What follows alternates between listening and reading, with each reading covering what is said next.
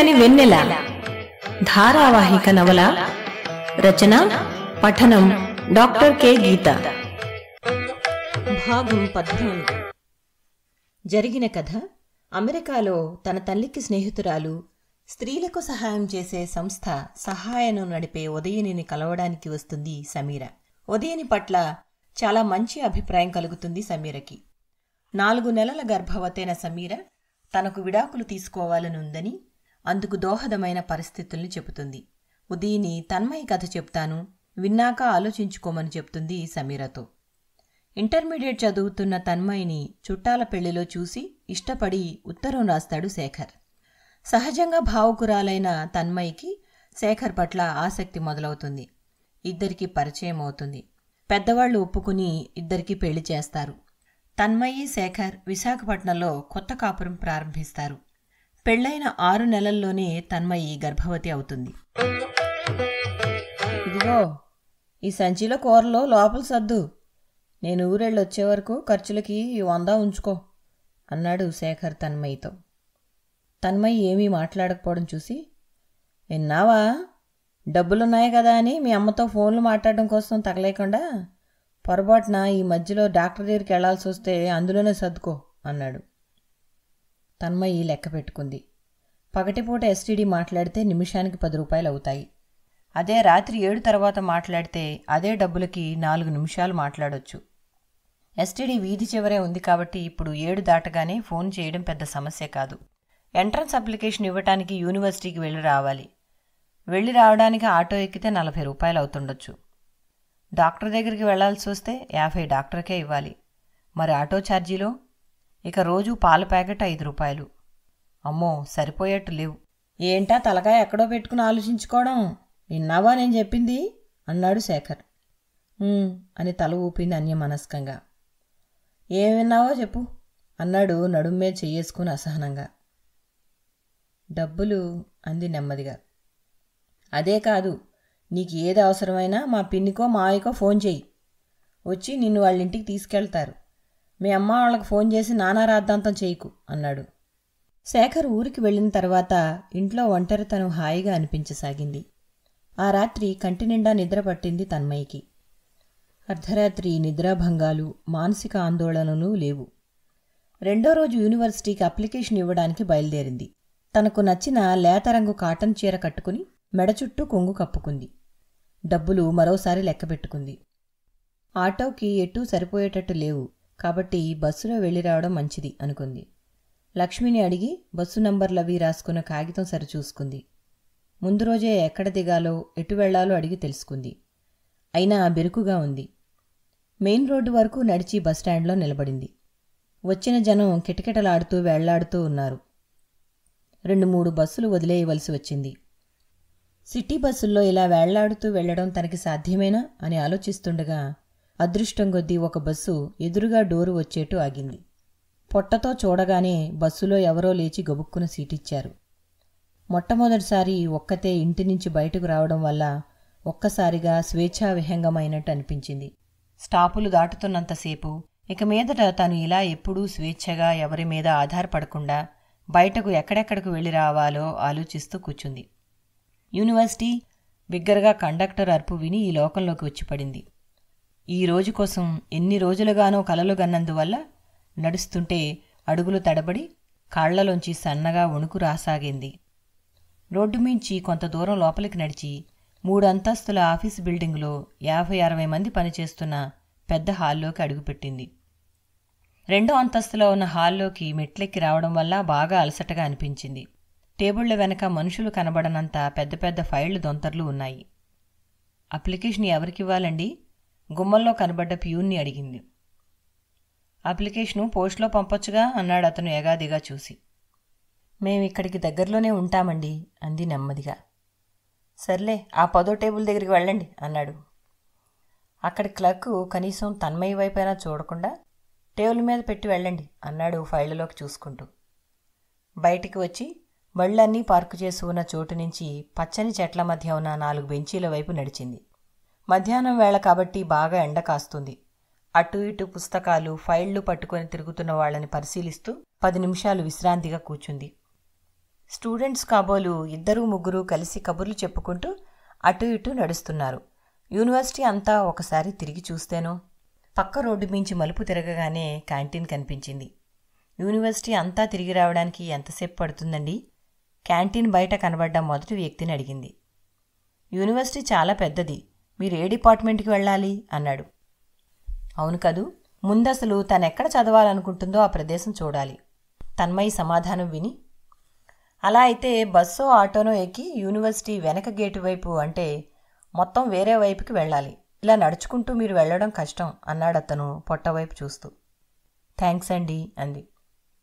వెనక్కి బస్సులో వస్తూ ఆటో ఎక్కి యూనివర్సిటీ అంతా తిరగడానికి సరిపడా డబ్బులు పోగు చేయాలి ముందు మనసులో దృఢంగా అనుకుంది. ఇంటికి వెళ్ళేసరికి బాగా నిస్సత్తువు వచ్చేసింది. కాస్త అన్నం తిని మంచం మీద వాలిపోయింది. ఎంట్రన్స్కి మోడల్ ప్రశ్నలు అప్లికేషన్తో పాటు ఇచ్చిన బుక్లెట్లో చూసుకుని ఆ ప్రకారం చదవడం మొదలుపెట్టింది. శేఖర్ వారంలో వచ్చాడు. అప్పటికే రాత్రి బాగా పొద్దుపోయింది. స్నానమైనా చేయకుండానే మంచం మీద పక్కన చేరాడు. అతని దగ్గర ఏదో ఒక విధమైన దుర్గంధం వస్తుంది. కాస్త స్నానం చేసి రారాదు అంది. రైల్లో రిజర్వేషన్ దొరక్క నానా కష్టాలు పడి ఇంటికొస్తే నీ గోలంటే అన్నాడు తన్మయం తన వైపు తిప్పుకుంటూ. అతనికి సుఖాన్నిచ్చే శారీరక పనులన్నీ చేయడానికి తన్మయ్యకి వెగటుగా ఉంది. అదే చెప్పింది. అసలు ఎప్పటికి నేర్చుకుంటావే నువ్వు? చీచి వారం రోజులు గొడ్డులా కష్టపడి ఇంటికొస్తే కాస్త సుఖం కూడా లేదు విసుగ్గా అన్నాడు. ఎన్ని కలలు కంది శేఖర్తో జీవితం పంచుకోవటానికి ఎన్ని రోజులు ఎదురు చూసింది వాస్తవం ఇంత కఠినంగా మింగలేక కక్కలేక బాధామయంగా ఉంటుందని తనస్సలు ఊహించలేకపోయింది. పెళ్ళి కాక ముందంతా తామిద్దరి సమాగమం గురించి తనకెప్పుడూ గొప్ప ఊహలే వచ్చేవి. తెల్లని లాల్చి పైజమా వేసుకుని శేఖర్ తనని మృదువుగా చేతుల్లోకి తీసుకున్నట్లు తనని అతను ఒక అపురూప స్త్రీగా ఆరాధించినట్లు కలలు వచ్చేవి. ఈ మధ్య అసలు అతన్నిలా చొక్కా లేకుండా చూడడం కూడా తనకెందుకో నచ్చడం లేదు. ఒంటి నిండా వెంట్రుకలతో అతని దగ్గరకు వస్తేనే తెలియని వెగట కలుగుతుంది. శుభ్రత పాటించకపోతే అసలు అతన్ని ముట్టుకోవడానికి కూడా మనస్కరించడం లేదు. ఇక అతని శరీరం కంటే అపరిశుభ్రమైన మనస్సు ఇంకా చికాకు కలిగిస్తుంది. అవును ఆ పుస్తకాలేంటే? ఇంటికి రాగానే నువ్వు ఒక పెద్ద ఎదవ్వి అని నాకు చెప్పడానికా? అన్నాడు అంతలోనే మాట మారుస్తూ. తన చదువుకి అతను వెదవ కావడానికి సంబంధం ఏమిటో అర్థం కాలేదు తన్మయ్యకి. అదే అడిగింది. ఏంటా? నేను కాలేజీ ముఖం చూడలేదని నన్ను ఎద్దేవా చేయడానికే కదా నువ్వు యూనివర్సిటీకి బయలుదేరావు? రేపో మాపో ఎంఏలు చదివేసి ఏదైనా పెద్ద ఉద్యోగంలో చేరిపోయి నువ్వు వంట చేయరా అనడానికా? అన్నాడు. అని తల అడ్డంగా ఆడించింది. ఏదో చిన్న ఉద్యోగంలో గుట్టుగా సంసారం చేసుకుని ఒక్కళ్ళో ఇద్దరినో పిల్లల్ని కానీ ఒక మొగుడికి పెళ్ళంగా పడి ఉందామని ఉందా నీకు? అయినా రేపో మాపో కనీదానికి చదువులు ఎలా అడగబడదాం అనుకుంటున్నావు? రేపొద్దున చంటి కాలేజీలకు తిరుగుతావా? శేఖర్ ఒక విషయం మీద కసి మరో విషయం మీద తీర్చుకుంటున్నాడో. లేక కావాలని అలా మాట్లాడుతున్నాడో అర్థం కాలేదు తన్మయ్యకి. గోడవైపుకి తిరిగి ఏడుస్తూ పడుకుంది. చీ ఆపు నీ ఎదవేడుపు చూడలేక చేస్తున్నాను అన్నాడు. వారం రోజులు అతని దగ్గర లేనప్పుడే ప్రశాంతంగా ఉంది కదా మళ్ళీ పీడన మొదలైంది అని బాధ మొదలైంది తన్మయ్యకి. దుఃఖంతో మూలుగుతున్న శరీరాన్ని మనసుని పట్టించుకోకుండా అతని సుఖం కోసం అతను మృగంలా మీద పడ్డాడు. మనసుతో సంబంధం లేని మొరటు సుఖానికి అలవాటు పడ్డ అడవి మృగం తనని చెరుస్తున్న బాధని పళ్ళ బిగువున అదుముకుంది. మరో నెల రోజుల్లో ఎంట్రన్స్ పరీక్ష దగ్గర పడుతుండగా శేఖర్ మళ్ళీ క్యాంప్కి వెళ్ళాడు శారీరక గాయాలు మానినంత సులభంగా అతను కలిగిస్తున్న మానసిక గాయాలు అసలే మానడం లేదు. శేఖర్ బయటికి వెళ్ళినంతసేపు తన్మయి చదువులో తనమునకనై ఉండసాగింది. చదువు ఒక్కటే తన పాలిటి పెనిధి అయ్యింది. పుస్తకం మూస్తే ఒక విధమైన బాధ మనస్సులో చొరబడుతుంది. ఫెన్సింగ్ చప్పుడు వినబడితే తొంగి చూసింది తన్మయి. ఎదురుగా జ్యోతి భానుమూర్తిని చూసి ఆత్రంగా హత్తుకుంది. కిందటి వారం ఫోన్ చేసినప్పుడు చెప్పలేదేం వస్తున్నామని అని అడిగింది. అంతలోనే తల్లి ముఖం ప్రసన్నంగా లేకపోవడం చూసి ఏమయ్యిందో అని జంకుగా అమ్మా అంతా బానే ఉన్నారా? అంది. ఇంటి పక్కన గేదె రొచ్చుకంపు ముందు వరండా వరకు వస్తుంది. వెనక బాత్రూంకి అసలు గాలే లేదు. ఇదేం కొంప తల్లి? అంది జ్యోతి ముఖం చిట్లించి. తన్మయ్యి నిశ్శబ్దంగా విని ఊరుకుంది. ఇక్కడ అతనేదో గొప్ప ఉద్యోగం ఎలగబడుతున్నట్టు మీ అత్త గొప్పలు పోతుంది అక్కడ నీకు సీమంతం చేస్తే అత్తగారి తరఫున ఏం పెట్టబడతాయోనని ఆనవాయితీ లేదని చెప్పింది. మంచం కొంచెం అని ఇచ్చే వరకు పీకల మీద కూర్చున్నారు అంటూ మొదలెట్టి తనకి మనసులో ఉన్న కోపం అంతా వెళ్ళగక్కసాగింది. భానుమూర్తి బయట వరండాలో సిగరెట్ వెలిగించుకుని కూర్చున్నాడు. పొయ్యి మీద అన్నం ఉడుకుతుండగా బియ్యం సంచి వైపు చూసి ఇదేం కర్మ నీకు? రేషన్ బియ్యం తింటున్నారా? అని నిర్ఘాంతపోయింది జ్యోతి. తన్మయ్యకి తల్లి తన మీద జాలి పడుతుందో తన స్థితికి బాధపడుతుందో అర్థం కాలేదు. కావాలని పట్టుబట్టి చేసుకున్నావు. నీకు మంచి జరిగిందా? మాకు మంచి జరిగిందా? మంచం మీద పరుపు ఇవ్వలేదని మీ అత్తగారు మాకు ఫోన్ చేసి డిమాండ్ చేస్తే ఇదిగో ఏవో తాకట్టు పెట్టి ఈ పైకం పుచ్చుకుని వచ్చాం అని ముక్కు చీదుతూ కూచుంది. ఇదంతా తన స్వయంకృతాపరాధమని శేఖర్ తను కలిసి వాళ్ళను వేధిస్తున్నామని తన్మయ్యకి లోపల నుంచి ఇన్ఫీరియారిటీతో కలిసిన బాధ మొదలైంది. సాయంత్రం కొత్త పరుపు తెచ్చాడు భానుమూర్తి. గాజువాకలో చిన్నన వాళ్ళ ఇంటికెళ్ళి అట్నుంచి అట్టే రేపు వెళ్తామమ్మా అమ్మ నేను. నువ్వు మాతో వచ్చేయకూడదు. అల్లుడు వచ్చాక వద్దు గాని అన్నాడు. శేఖర్కి చెప్పకుండా వెళ్తే వచ్చాక నానా రాద్ధాంతం చేస్తాడు. పైగా శేఖర్ ఇంట్లో ఉండగా అసలు చదువు కొనసాగడం లేదు. ఎంత చదివినా ఇదే మంచి సమయం. తను రాయాల్సిన ఎంట్రన్స్ పరీక్ష ఎన్ని అవాంతరాలు ఎదురైనా రాసి తీరాలని పట్టుదలగా ఉంది తన్మయ్యకి. తనకి సీటు వస్తుందా లేదా చెంటబిడ్డ పుట్టాక చదవగలదా లేదా ఇవన్నీ తనకు అప్రస్తుతాలు. అసలు ఎంట్రన్స్ ఎలా ఉంటుందో చూడాలి అంతే. ఇలా వచ్చి అంతలోనే వెళుతున్న తల్లిదండ్రుల మీద లోపల లోపల బెంగపడింది తన్మయ్యి పొద్దుట్నుంచి ముక్కు మూసుకుని బలవంతంగా అక్కడ ఉండాల్సి వస్తున్నట్లు ఉంటున్న తల్లిని ఇంకా బాధ పెట్టడం ఇష్టం లేక లేదులేండి నాన్న నేనిప్పుడు రాలేను మీరు వెళ్ళండి వచ్చే నెలలో ఎలాగో వస్తానుగా అంది దుఃఖాన్ని లోపల అణుచుకుని. పొద్దున్నొచ్చి సాయంత్రం వెళ్ళిపోయారా మీ అమ్మ నాన్న? కడుపుతో ఉన్నావు నాలుగు రోజులుండి నేను చూసుకోవచ్చుగా అని విస్తుపోయింది లక్ష్మి మర్నాడు. వాళ్ళిక్కడ ఉండలేరు. నన్నే రమ్మన్నారు. కానీ చదువుకోవాలని అని చిరునవ్వు నవ్వింది బలవంతంగా తన్మయి. ఇంటి బయట ఏదో కోలాహలం వినబడి వీధిలోకి వచ్చారిద్దరు. గోనెసంచి మీద చిలక కార్డులు పేర్చుకుని జ్యోతిష్యుడు కూర్చుని ఉన్నాడు. ఇద్దరు ముగ్గురు చుట్టుపక్కల ఆడవాళ్ళు జాతకం చెప్పించుకుంటున్నారు. దా జ్యోతిష్యం చెప్పించుకో. ఏదైనా సరిగ్గా చెప్తాడు అంది లక్ష్మి తన్మయ్యతో తన్మయ్య నవ్వుతూ నాకు ఇలాంటివి నమ్మకం లేదు అంది. చిలక ఇచ్చిన కార్డుని ప్రార్థిస్తున్నట్లు కళ్ళ మీద పెట్టుకొని కళ్ళు మూసుకుని ఉన్న చిలక జోసెఫ్ మనిషి తీక్షణంగా తన్మయ్య వైపు చూసి జ్యోతిష్యాన్ని సులకన సోడక తల్లి నీ కొడుకు పుట్టబోతున్నాడు. ఆ బిడ్డడే నీకు ఆలంబన ఆధారం. ఏ కష్టం వచ్చినా సెదరవు బెదరవు. ఆకాశమే నీకు వద్దు అన్నాడు. విస్తుపోయి చూసి అంతలోనే చిలక జోసేపు మనిషి మాటల్ని నమ్మడమేమిటి అని నవ్వుకుంది తన్మయ్యి మర్నాడు డాక్టర్ దగ్గరికి వెళ్ళారు తన్మయ్యి శేఖర్. స్కానింగ్ చేయిద్దాం ఎందుకైనా మంచిది అంది డాక్టర్. స్కానింగ్ చేసేటప్పుడు డాక్టర్ జెండర్ తెలుస్తుందా అంది. నిజానికి మేము ముందే చెప్పడం నిషిద్ధం అయినా నీ సంతోషం కోసం చెప్తున్నాను మగపిల్లవాడు అంది. తన్మయ్యకి ముందు రోజు జోస్యం గుర్తుకొచ్చింది. నీ కొడుకే నీకు ఆలంబన ఆకాశమే నీకు హద్దు ఎంత స్పష్టంగా తన మనస్సును చదివినట్లు చెప్పాడు? అవును ఈ పసిపాపడే కదా ఎప్పటికప్పుడు బాధా విముక్తుణ్ణి చేస్తున్నది?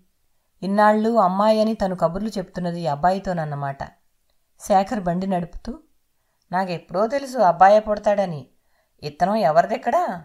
మా వంశంలో అందరికీ ముందు మగపిల్లలే పుడతారు అని గట్టిగా అరుచుకుంటూ చెప్పుకెళ్ళిపోతున్నాడు. తన్మయి కుదుపుల నుంచి తప్పించడానికన్నట్లు పొట్టలో బిడ్డని ఒక చేత్తో గట్టిగా పట్టుకుంది. నాన్న నువ్వు మాత్రం ఇలాంటి మగవాడివి కాకూడదురా. అని గాఢంగా మనస్సులో అనుకుంది. తల్లి మాటలు వినబడినట్లు కుంచుంచుకుపోయి కడుపంతా చేతిలో ఒదిగిపోయింది. దారిలో కొబ్బరి బొండం తాగడానికి ఆపాడు. వచ్చే నెలలో నేను నెల మొత్తం క్యాంపుకి వెళ్ళాల్సి రావచ్చు. నిన్ను వచ్చే నెలలోనే డెలివరీకి తీసుకెళ్తామని మీ ఓళ్ళు అన్నారు కదా. నేను వెళ్ళే ముందు రోజు రమ్మని ఫోన్ చెయ్యి అన్నాడు. తన్మయి ఎంట్రన్స్ తారీఖు గుర్తు తెచ్చుకుంది. సరిగ్గా శేఖర్ ఊరికెళ్ళే రోజు అది. తన్మయిని తీసుకువెళ్ళడానికి భానుమూర్తి ఒక్కడే వచ్చాడు. ఉదయం శేఖరు ఊరికి వెళుతూ నా కొడుకుని క్షేమంగా కనిచ్చే వరకు కాస్త జాగ్రత్తగా ఉండు. మీ పల్లెటూళ్ళలో డెలివరీలకి మంచి డాక్టర్లు ఎక్కడున్నారు? అందుకే డెలివరీ దగ్గర పడ్డాక మన ఇంటికి వెళ్ళిపో. నీకోసం మా అమ్మ తెలిసిన డాక్టర్తో మాట్లాడి పెట్టింది. ఎప్పటికప్పుడు వివరాలు ఫోన్ చేసి చెప్పు మా అమ్మకి అన్నాడు. అబ్బాయి చెప్పింది నిజమే మన ఊళ్ళో సరైన డాక్టర్లు లేరు. కానీ మీ అమ్మ ఏమంటుందో చూడాలి మరి అన్నాడు భానుమూర్తి కూతురుతో. మధ్యాహ్నం ఎంట్రన్స్కి వెళ్ళాల్సిన ఆలోచనల్లో తన్మయ్య ఇవన్నీ పట్టించుకోలేదు. శేఖర్ని వదిలి వెళ్తున్నాననే ఆలోచన కూడా లేదు. తండ్రి దగ్గరుండి తన్మయ్యని పరీక్ష హాలుకు తీసుకువెళ్ళాడు. దారిలో ఇప్పుడు ఎందుకమ్మా నీకు చదువులు అన్నాడు.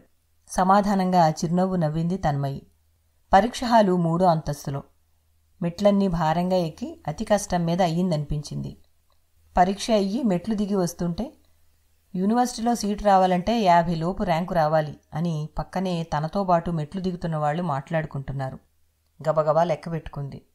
తనకి డెలివరీ అయ్యి మూడో నెల వచ్చి తను వెనక్కి వచ్చేసరికి అడ్మిషన్లు మొదలవుతాయి. మనకి ఏమి రాసి పెట్టుందో చూద్దాం కన్నా అంది కడుపు మీద చెయ్యి పెట్టి. వెళ్ళేలోగా ఒకసారి సముద్రాన్ని చూడాలనుంది నాన్న అంది తండ్రితో. ఇట్నుంచి ఇటే వెళ్దాం మరి అని ఆటో మాట్లాడాడు భానుమూర్తి. ఒక పక్క ఎండ కాస్తున్నా సముద్రం మించి పొగమంచేదో వచ్చి కళ్ళకు అతుక్కున్నట్లు మసకబారిన కెరటాల్ని చూస్తూ ఒడ్డున కూచుంది తన్మయి. ఇంట్లో ఎప్పుడూ కలగని ప్రశాంతత ఇక్కడ కలగసాగింది. మనసంతా నిండిన ఆనందంతో పొట్టమీద తడుముకుంది. తల్లి సంతోషానికి ప్రతీకగా కాళ్ళు చాచినట్లు విశాలంగా కదిలింది బిడ్డ. తన్మయి తండ్రి వైపు చూసింది. భానుమూర్తి సిగరెట్ వెలిగించుకొని నీళ్ళ ఒడ్డున అటు ఇటు తిరగసాగాడు. చుట్టూ చూసింది.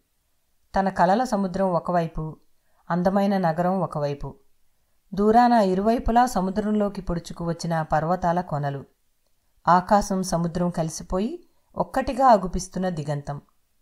ఇసుకలో చెయ్యి పెట్టి ఆప్యాయంగా తడుముతూ వెళ్ళొస్తాను సాగరమిత్రమా మళ్ళీ కలుద్దాం. నీకోసం ఎన్నో కలలు కని ఈ నగర ప్రాంగణంలో తలదాచుకుంటున్నా. ఇన్నాళ్ళు నిన్ను చూడడానికి రాని ఈ అశక్తురాల్ని మన్నిస్తావు కదూ? నేను తిరిగొచ్చే వరకు ఈ చల్లని పవనాల్ని నా కోసం దాచిపెట్టవు అంది. తన మాటలు విన్నట్లు మబ్బు తొలగి నీళ్ళు కాంతివంతమయ్యాయి. ఎండ తళుక్కున మెరిసే నురగల కెరటాల వెనకెక్కడో అంచుల్లో కదులుతున్న కాగితపు పడవల్ల ఓడలు ఒకటి రెండు కదులుతున్నాయి. తండ్రి తన వైపు రావడం గమనించి లేచి నిలబడింది తన్మయి. సాయంత్రం రైలు సమయానికి గంట ముందే బయలుదేరారు. లక్ష్మి వీధి బయట ఆటో కదిలే వరకు నుంచుంది. పండంటి బిడ్డను కని క్షేమంగా తిరిగిరా. అంది ఆప్యాయంగా చేతిలో చెయ్యి వేసి. ఆ ఆప్యాయతకి తన్మయ్య కళ్ళల్లో నీళ్ళు తిరిగాయి. ఆ చేతిని అలాగే పట్టుకుని తల ఊపింది.